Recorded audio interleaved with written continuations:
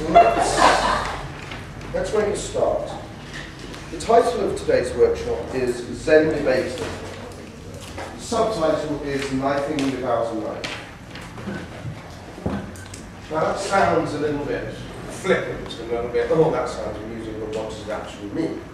Well, what it really means is that debating should not be seen as there is this position on the first half of government and there is this position, there is this position on the first half of opposition and then another position for the second opposition team. The principle of Zen debating is that debating is a holistic activity. The debate happens as one cohesive whole, or should. So ultimately, you don't have to worry too much about what's being said by other teams in terms of does that stop me from saying something else? A lot of people think, well, I can't contradict what they've said. And that's true, you can't directly go against what other teams have said on your bench. You can't say what they said was wrong and what we're saying is right.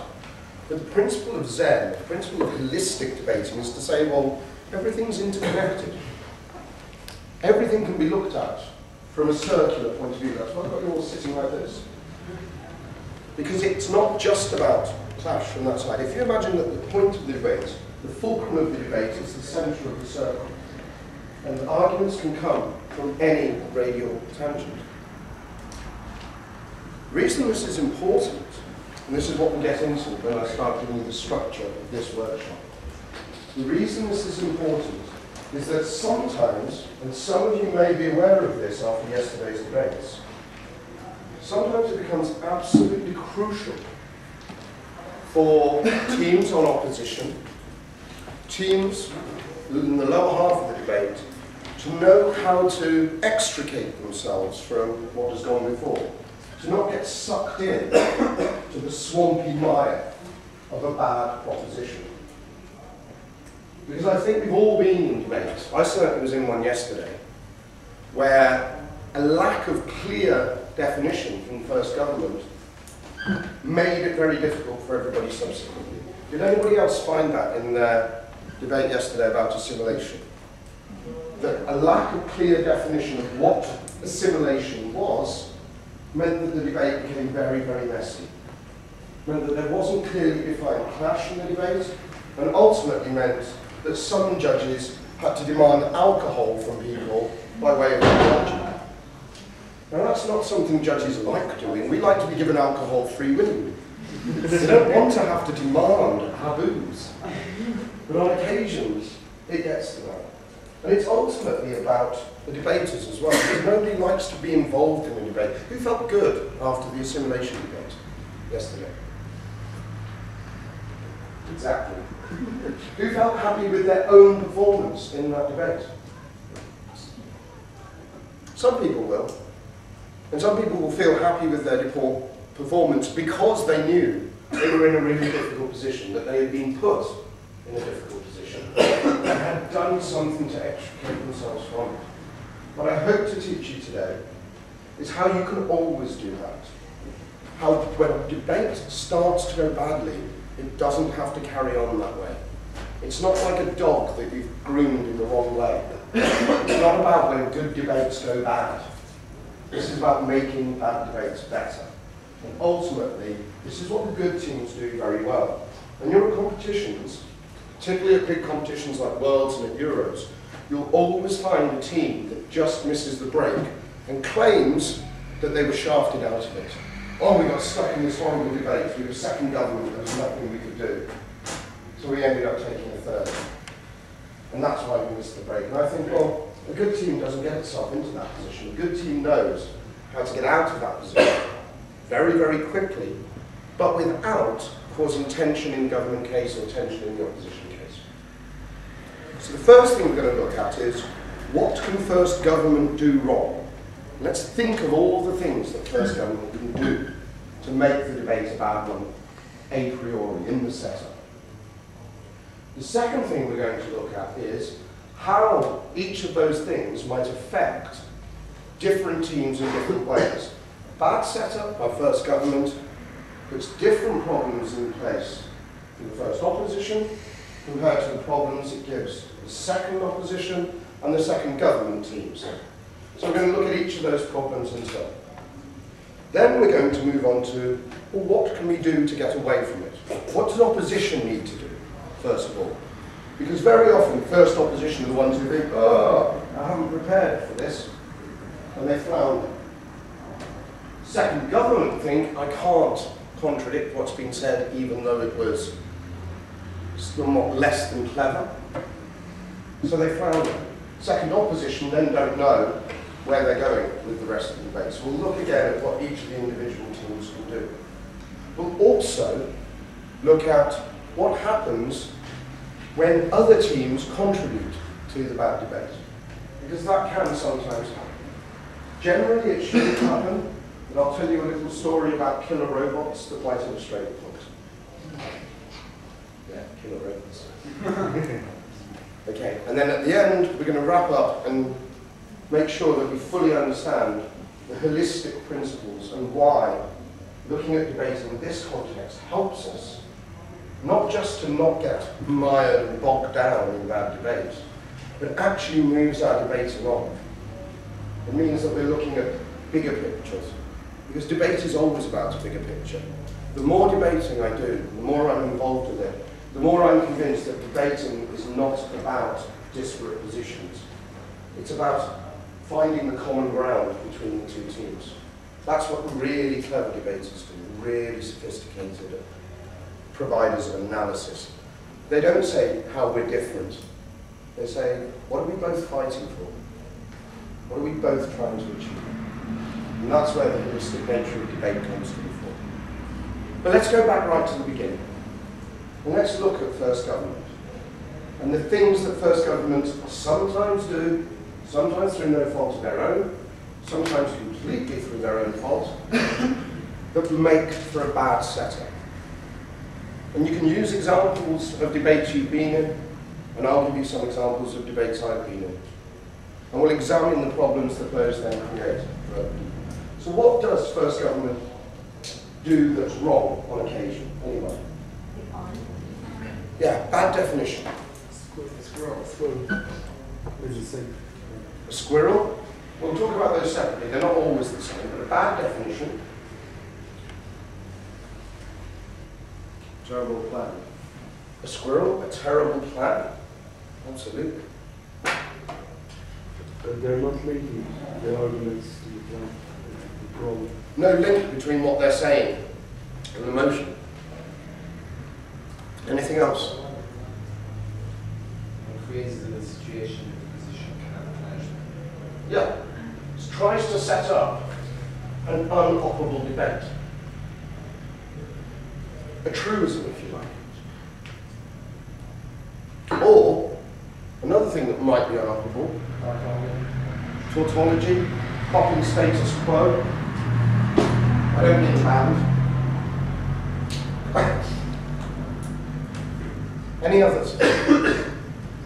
Think of the debate you were in yesterday.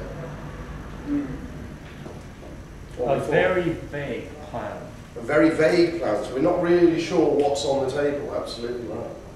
Um, taking position, stating a position that is typically contrary to what you'd want to have in this debate. Okay, taking a contrarian position, something that is totally not what the debate's asking them to do. Why do governments sometimes do all these things? Is it just that they're malicious? No. They want to win. Most people want to win. So they're not doing it to make a bad debate, are they? But generally speaking, it's a lack of specific knowledge or it's a lack of understanding. Now that should never really happen. Let's look at the first one then, bad definition. Bad definition could be we didn't understand the word. There was a word in the motion, an English word that we'd never seen before. We didn't understand. It could be there was a word in the motion that we've seen before, but we misconstrued in this context.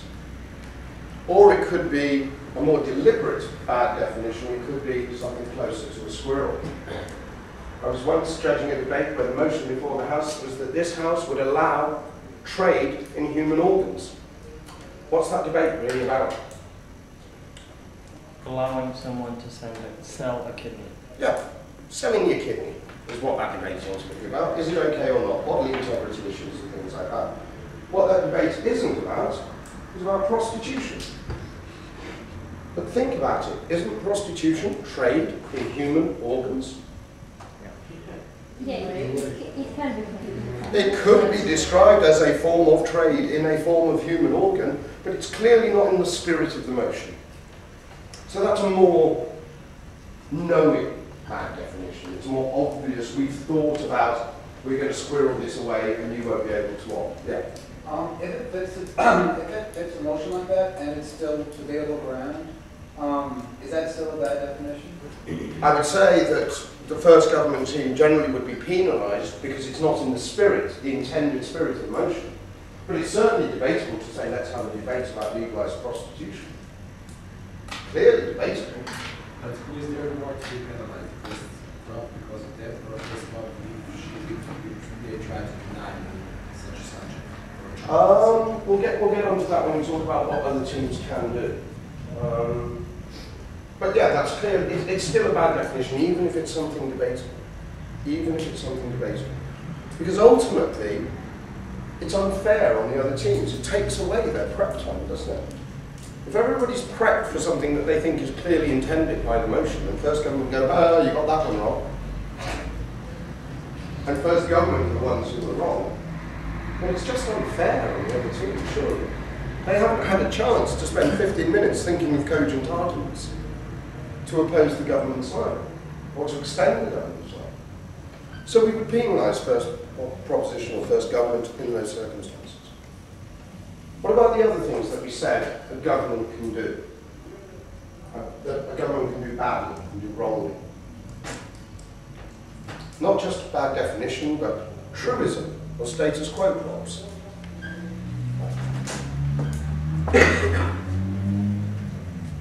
Very, very difficult, particularly in British parliamentary debating.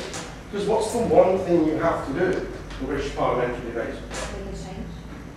Implement a change. You're going to change the status quo from something, do something. And some people stand up and go, well, we like the status quo. So we're going to defend the status quo. And that creates its own problems. But most of the things that a government does wrongly simply come down to a lack of understanding. And that generally shouldn't happen. Because we always say to teams, if you don't understand a word in the motion, come and ask us for clarification. And that's the first thing a government should do, or any team. You shouldn't, you can use dictionaries, language dictionaries, electronic dictionaries, things like that. But I wouldn't always rely on those, and I'll tell you about that why a little bit later. But you can rely on information from the adjudication team, from members of faculty to say, well, what assimilation means is X. Okay? We can't say, therefore your argument should be along the lines of Y and Z, but we can give you a definition of a word. And one thing it's never legitimate in British parliamentary debating to do, and I know that in some formats this is allowed, is to take a word that has a clear definition in a dictionary and decide you're going to rewrite that definition for the purposes of this debate. You just can't do that. You don't get that luxury in British parliamentary debating. Who is most disadvantaged immediately by bad definitions, by truism props, by status quo? First second. Boo, boo, one at a time. Second government, first opposition, second government, second government. I'd say the immediate problem First one debate. lies with the first opposition because they've got to speak first.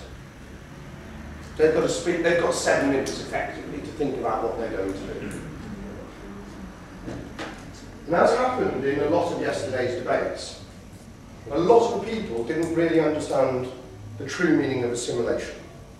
Is that a fair thing to say? Yeah. Okay, that's fine. Does assimilation mean the same as integration? No. Good. Got that. Is assimilation a way of trying to achieve integration. Yes. Absolutely right. What's another way of trying to achieve integration? Affirmative action policies. Affirmative action policies. Celebrating cultural diversity so that people can learn from each other because we know, or we think we know, that prejudice is born of fear and ignorance. So if we remove, remove the ignorance, we hope to remove the fear, and subsequently and consequently remove the prejudice. So if somebody stands up and says, by assimilation, we mean it's nice that people hang out together, what should first opposition do? Saying that, that assimilation does not mean that. That's one thing they can do. But are they going to do that for seven minutes? Are they going to stand there for seven minutes and go, they haven't defined assimilation properly, therefore we win? Does opposition win that debate? By doing that? Argue on the grounds of what the first government did. They could accept first government's definition. They could say, we think it's wrong, but we'll accept it and we'll debate it. They can change it. They could redefine. That's an option open You too. just give the definition and argue uh, like they're supposed to. Hmm. Ultimately, assimilation is opposed in that debate to what? I've already said it. Yeah, affirmative action. Well, cultural diversity, it's, affirmative action is a policy within cultural diversity, it's not a principle. You don't have a principle of affirmative action unless you have cultural diversity, because you don't need it. Okay? You don't need affirmative action in a mono-ethnic society. That's pretty clear. So let's get away from this term of affirmative action and stick with cultural diversity, simply because it makes the discussion easier. So when they say assimilation is we like people of different cultures hanging out together, they're actually running cultural diversity, aren't they? Mm-hmm. Rather than assimilation. So there's two options for the opposition. One is to challenge the definition and say, no, that's our argument, and then tell us why cultural diversity is good. And that's a perfectly legitimate tactic for the opposition to take. Does that create any clash if the first government had just told us why cultural diversity is good? Doesn't create any clash at all. It creates, creates clash uh, about the definition. Yeah. That's both arguments. Yeah, but that's, that's one line in the debate. Saying that's not assimilation, that's cultural diversity, and we also think it's a good thing. That there isn't a clash over what assimilation is. There's, but then, and there's also no clash over whether cultural diversity is desirable or not. So the, how, do, how does the judge then decide who's ahead in that debate in terms of the actual arguments? It doesn't. You can't. There's no difference between the arguments. Because both the arguments are the same. Now in that instance, although it might seem odd for opposition, possibly the better tactic is to accept the flip. First government have effectively stood up and run the opposition line. Opposition, if they've prepared properly, should know the government line. If you know why you want to argue for cultural diversity and against assimilation, you should know also how to argue for assimilation and argue the con side of cultural diversity. So if you've had a government that proposes cultural diversity and tells you why it's good, tell the judges why it's not good. Tell the judges, okay, that's not what we were expecting, but the judges will know that anyway. You don't need to spend your time telling the judges that they've got the word assimilation wrong. Because that doesn't help anybody. That means that the team that were in fourth place, first government, are still in fourth place. And it also means that you've just guaranteed yourself a third in first opposition. Because the whole debate has still got to happen somewhere further down the table. And you don't want that. That's you getting sucked in. That's why bad definitions are like quicksand. Because if you stand on them too long, you start to sink into it as well. Okay? You don't want to spend all your time going, they were wrong, they were wrong to say this, they were wrong. That's not enough to win a debate. You need to take a more holistic approach. You need to think, well, this debate needs to have clash. It's our job to create clash. It's not your job to run cultural diversity if that's what everybody else is running. It's your job to create clash. So think outside the confines of I'm opposing a particular motion and think in a more Zen fashion, I'm opposing whatever the government is saying. Yes. Well, th- then you just explain your argument, or what, what, do, what do you do then? But then you run the argument that you think should have come from the government. A good opposition team will have prepped that anyway. Hmm. It's not a big stretch to say, because I've prepped the pros of cultural diversity, I should be aware of the cons of cultural diversity. So we're basically like, okay, I will do now the government. Yeah, The you government accept the flip. The team that's coming fourth is still coming fourth, but you've got a good chance now of winning that debate. Ultimately, then, it makes it much easier for the bottom half of the debate, doesn't it? From a holistic point of view, you've saved the rest of that debate for the judges. Because what does the bottom half do? They follow up on you. Yeah, they follow the lines. Government runs cultural diversity, opposition runs assimilation. There's no danger of knifing from either side. There's a small definitional problem and we've dealt with it. Judge is happy. Look, happy judge. this is the key that the judge is happy. Tend to smile at you when you're doing things. And it's great. We actually think, thank God first opposition were here in that debate. Because they saw that the debate was about more than just this one definition that a debate can still happen and they've saved everybody else from the quicksand. First opposition then get an awful lot of credit for accepting the flip, doing a difficult job well, and helping out the other teams. In the judge's mind, okay, we don't write plus 15 points for saving the debate, but in the judge's mind, and the Local will back me up on this, in the judge's mind, you are the saviours. We really, really like you a priori, irrespective of how good your arguments are. We just like the fact that you were there right then. And that we didn't have to sit through the rest of what could have been an absolutely terrible day. What happens when the second speaker comes up as government, like if he uh, doesn't accept clash or clash with the position, or he's just speaking with the story still, for example. The second speaker of the first government hopefully will have prepped what his partner has prepped as a team right. if they haven't, then I don't think you want to be worrying too much about first government anyway. If the first government team's that bad, my guess is you could stand up and go woo, woo, woo, woo, woo, woo, for seven minutes and still beat them. Uh, I mean, like, uh, you have the situation when you're actually realizing what you've done during the only you're the first government. Is there any way for the second speaker of the government to make a little bit If the, if the opposition have accepted the flip, then the second government speaker's got to go with it. To try and flip it back then.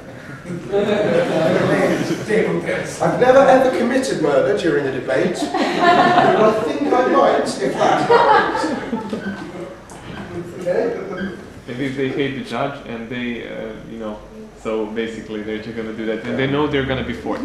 So Yeah, they're even more involved. We'll give them minus points for detracting from the debate as a whole. Like, like this one even try to, second speaker try to knife our first speaker, go with them. But it's still, they still come forward because they manage.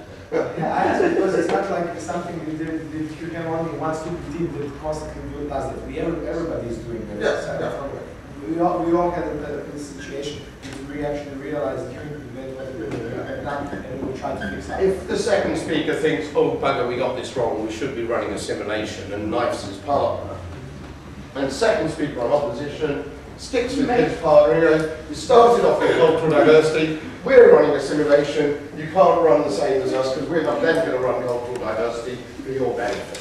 You're silly, sit down, we win. We've had this with the second government then. Well, second government carries on running cultural diversity because that's the line set by the- Okay. the opening government scheme. Yes. But what happens if they don't, if the second pro- opposition does, no, if the first opposition doesn't flip it, Ah, then can the second, right. That's, we'll get onto that later. Um, in this debate, um, I had someone define assimilation as cultural diversity, but still argue for assimilation. For the true definition of assimilation. No, yeah, yeah, so they, they didn't, So they actually argued for assimilation, but they're, they didn't match their definition.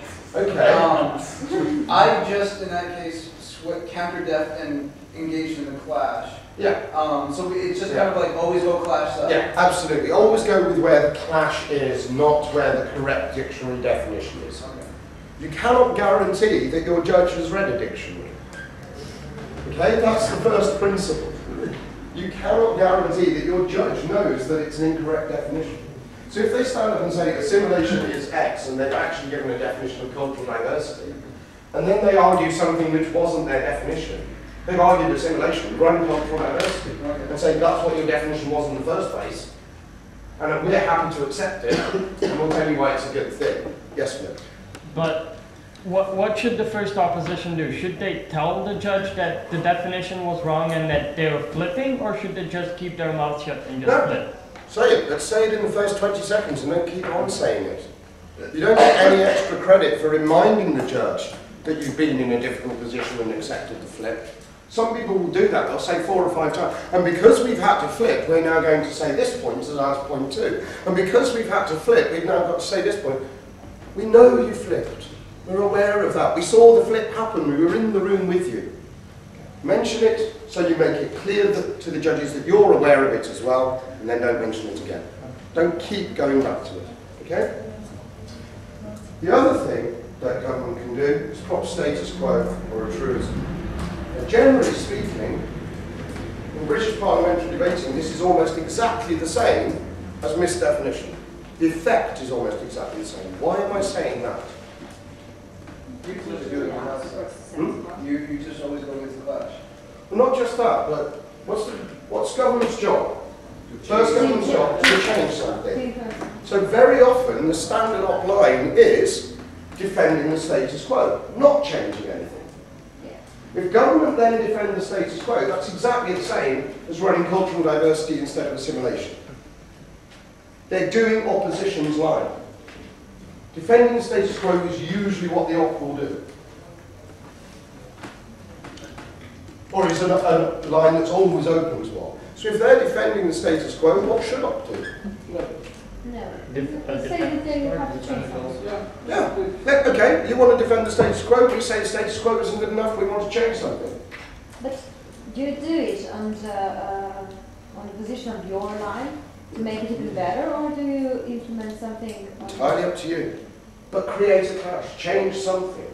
Say why the status quo isn't working, and say that we either need to go down what the motion was sent, telling us to go down, or we can make the status quo even better by doing something else. That's entirely up to you. Yeah. So, so the opposition should come up with a full proposal, or would it be better to just go on general stuff?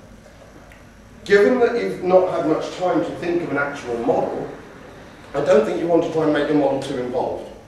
That's just a general rule of advice. I don't think models should ever be so complex that they can be taking up sort of four or five minutes of the first person speech. Because then you're going to get into too many mechanistic difficulties.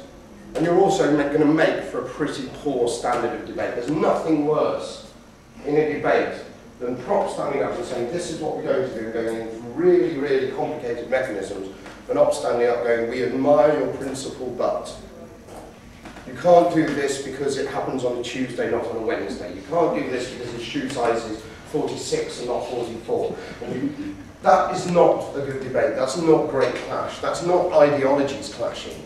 That's picking at threads to see if they can tear apart a whole jumper. It's not going to work. And judges are going to get very, very bored very quickly. You might do better than the first government in that case, but nobody's going to do well in terms of speakments and things like that. It's not going to be a good overall debate. So opposition, again, needs to make sure it's creating clash by saying, look, this is what we want. Sometimes governments do both together. They misdefine and they end up propping the status quo. And that makes it much harder for opposition. Because if the status quo is a mix of a little bit of assimilation and a little bit of cultural diversity, and they've misdefined one as the other, how do you clearly find a line of opposition?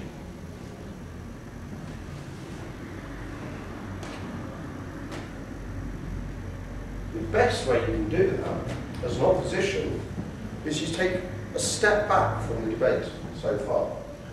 You think, okay, we've heard a lot, but does any of it really address what the debate's actually about? Remember that first question you asked yourselves when you saw that motion? What is this debate really about? What is this debate asking us to do? Has any of what they've said actually addressed that? And I hope you don't mind me, Don, using your prop as an example. But we had a definition yesterday, but assimilation meant people of different cultures hanging out together. And we think this should happen at university because we think it's a good thing. Well, it does. And universities are possibly the most integrated environments you can find in multicultural societies.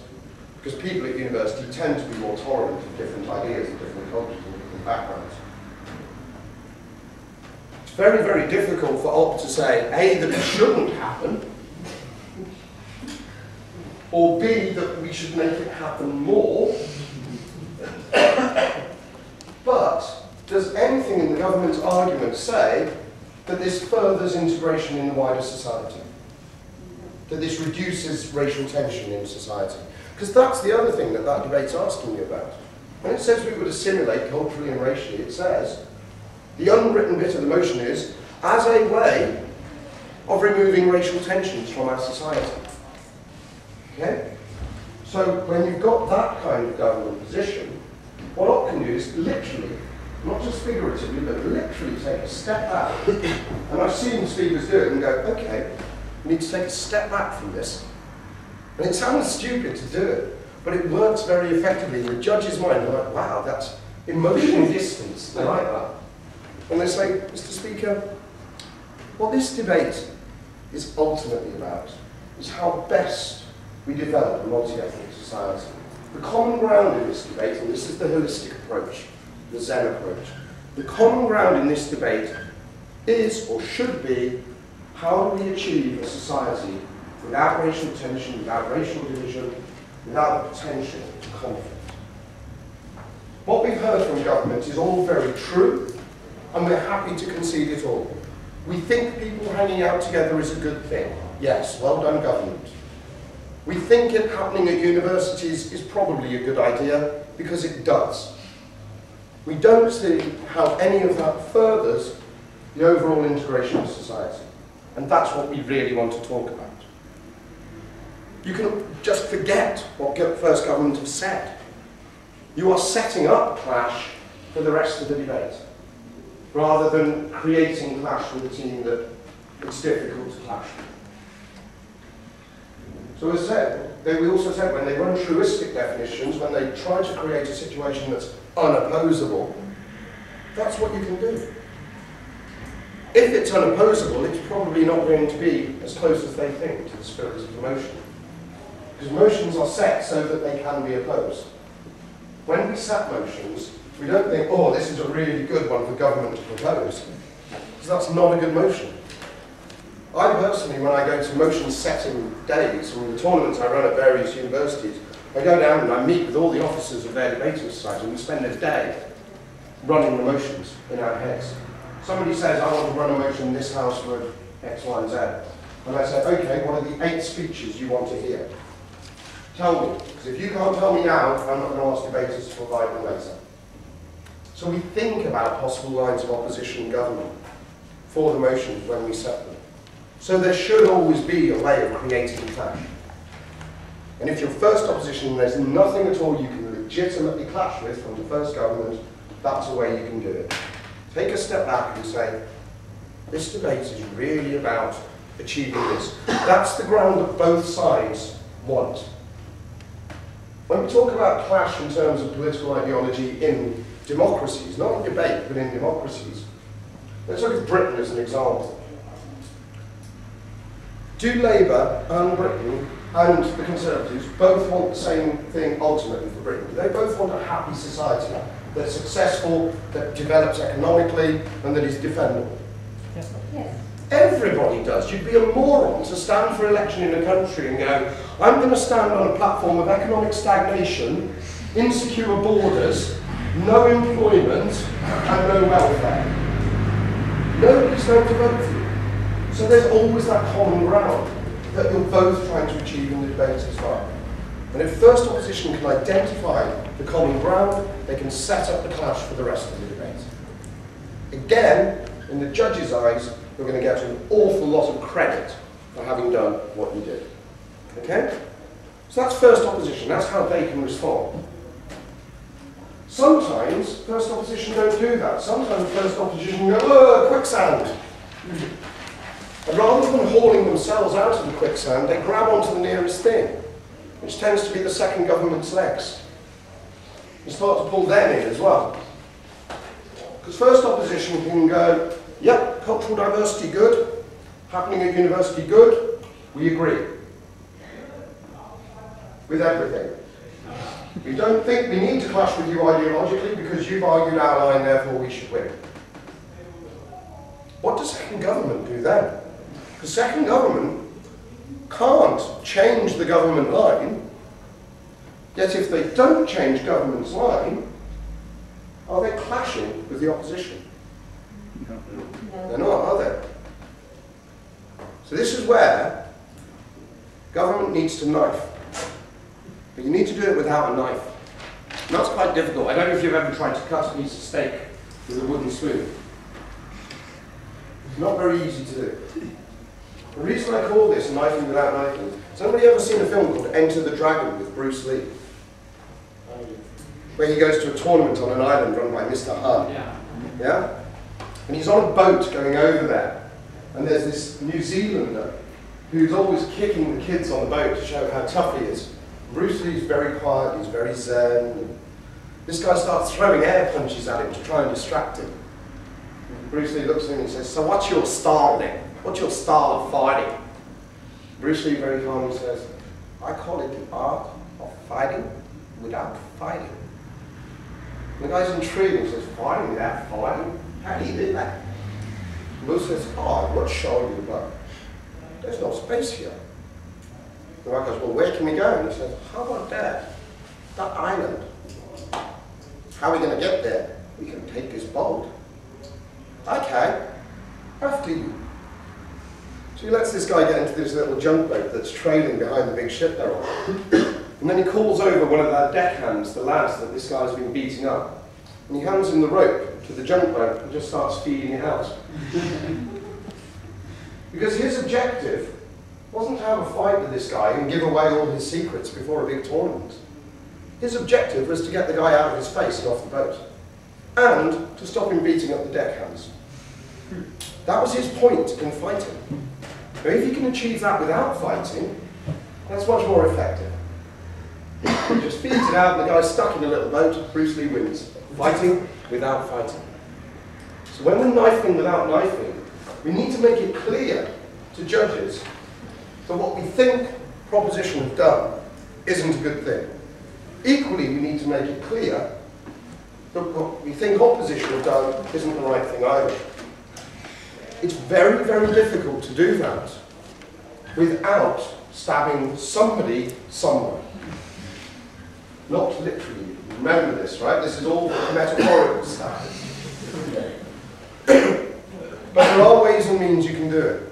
Some of them are quite simplistic and they're quite obvious to judges when they're doing that. I heard somebody do it in this academy, I can't remember when, where somebody stood up and sat off the table and said, we don't need to talk about First Government's model, we think it can be judged on its own merits. That's quite a loaded statement. We think it can be judged on its own merits. That's a good tactic if the only problem with government is the ridiculous model that they've given, but they've got all the principled stuff right.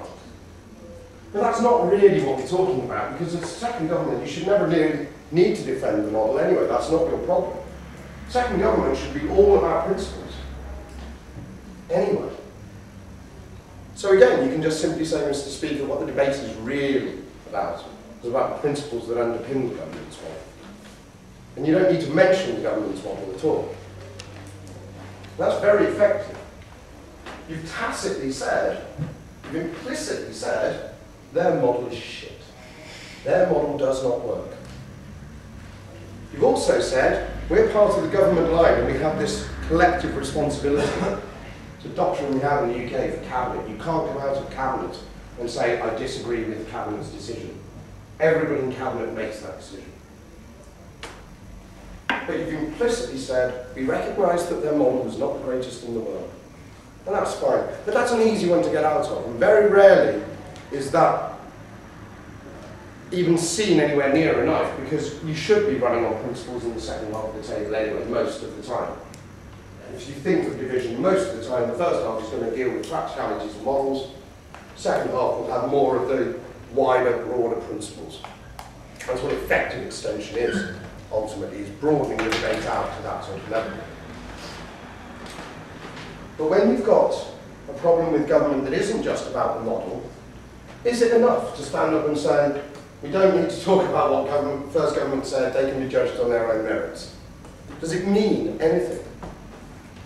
We're always going to judge each team on its own merits. That's why we're there to judge. That's why you're split into four teams and not into two.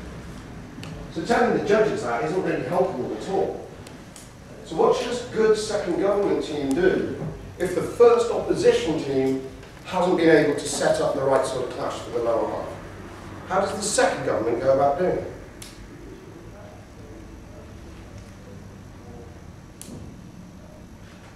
Well, is it similar to the first opposition, just taking, uh, take one step back, set uh, the whole field of Yeah. That's, that's absolutely the right answer. Do what I've just said first opposition should do. Answer the question. This debate is ultimately about how we achieve X. We think X is achieved in this way. Now, it's difficult when both sides have run the same thing. If they both run cultural diversity, second government can't say X is achieved with cultural diversity or X is achieved with assimilation. but would that be an extension anyway of the debate? Or would it just be a rehash of what both sides on the first half have said? We have to have an interesting view. I think a cleverer line for the second government is to tell me why X is a desirable end in itself. Tell us why integration is desirable. Put a burden on opposition to tell me that integrated societies are a bad thing. It can be done. It certainly can be done. But again, it's taking a very holistic view of the debate as a whole. This House believes in cultural and racial assimilation, unwritten bit of the motion, to enhance integration to prevent further integration tensions. Say why. That is a desirable end in itself. Move the debate away from narrow distinctions or non-distinctions between cultural diversity and assimilation. Don't even talk about cultural diversity and assimilation. We don't talk about assimilation. You don't have to. You don't have to. It's possible to win a debate, a bad debate, about Turkey's entry into the EU without ever mentioning Turkey, the EU, or the word accession. From second round. If you've had a bad first half, people who don't know what Turkey is, people who don't know what the EU is, people who don't know what accession is, and op are equally bad, you can still win that debate not using those three words. How? You show why accepting new members into a community is a good thing. Yeah. You say A, why expanding communities is a good idea, because it's about an exploitation of value. You say B, why international relations are always improved by bringing people in rather than excluding them. You run a standard inclusion versus exclusion dichotomy. How do you get best, best get somebody to do something you want them to do? Do you do it by putting an arm around them and saying, come on, you can do this? Or do you do it by waving a big stick at them and saying, if you don't do this, I'm going to beat you? Both arguments are valid. Both arguments are valid. Kissinger would say one leads to the other. Does everyone know the Henry Kissinger quote about diplomacy? Diplomacy is the art of saying nice doggy until you can find a large enough stick. Kissinger would say you start off by putting your arm around and going, no, come on, you can do this. And then when they refuse, going, we're going to beat you. That's usually the way it works with children. You try a carrot first, and if it doesn't work, you hit them with a stick. Not literally. So you can move the debate onto a different principled level about inclusion and exclusion, and not about Turkey and the EU or free trade area agreements or clash of cultural values between mainly Judeo-Christian democracies and a largely Islamic population. You don't have to get into that discussion. That's the quicksand that you're trying to avoid. What you want to be doing whilst you're watching people in the quicksand is building yourself something that doesn't sink. Almost like the principle of snowshoes. You're finding your snowshoes, you can go walking on that quicksand and it doesn't affect you. Okay? But you can only do that if from the very first moment you've started prepping, you've had a very holistic view of what that debate is about as a whole. If a second government, and occasionally this happens, if a second government don't do that or are unable to do that because they don't have a Zen approach, they don't have a holistic approach to the debate, they might think, well, I've just got to make the cultural diversity argument better than all four speakers before me. They may be able to do that. They may be able to provide such sophisticated analysis of cultural diversity is good that they put themselves ahead of the other two teams. Is it likely, if all four speeches have been about why cultural diversity is good, that there's going to be much they can expand on? It's not. So it's a very slim chance that second government are going to do anything good like that. If they try to do that, what does opposition do? Because every team so far is running cultural diversity is good. What does second opposition do? They stand up and go, assimilation! That's what the motion said. Do they? That would be the surest way of making sure first government suddenly weren't fourth in this debate. By standing up as the only team in the debate and going, we like assimilation actually. We disagree with you, you, you, you, you, you, and you. And probably the judge as well. That's not going to help, is it? So what could a second opposition team do? Exit the room. Run! Run like the! Run, Forrest! Again, surest way of not giving first government the fourth. Just get up and leave the debate. You just step back there. They have to take several steps back. they've got to take so many steps back, they've got to shout just to reach the podium. They've got to get so far away from this quicksand and put up big signs around it saying, watch out, quicksand. But they've also got to tell the judge, dear judge, we know you've been through hell.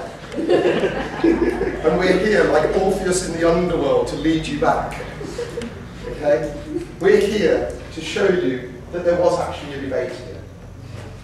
We're here to tell you what that debate was, and we're here to tell you why, as the only team that understands that, you should be really kind to us and let us win.